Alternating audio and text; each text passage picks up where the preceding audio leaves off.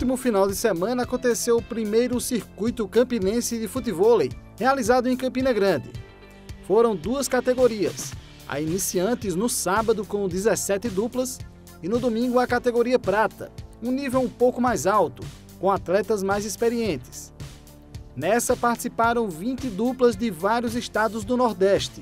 O evento foi realizado pela Liga Campinense da modalidade.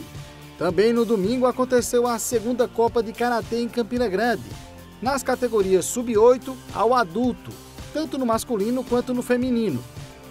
Foi um evento só de catar, a chamada coreografia. A novidade foi o resgate do Qatar Equipe. Participaram da Copa 55 atletas de 10 equipes. O campeão foi a Associação Bunkai de Karatê Shotokan, com a Associação Alto Domínio como vice e a ilha de Okinawa ficando em terceiro lugar.